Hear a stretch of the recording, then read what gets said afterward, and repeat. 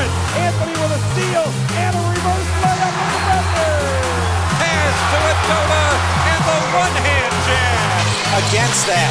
And Trey Davis, I think he knocked it.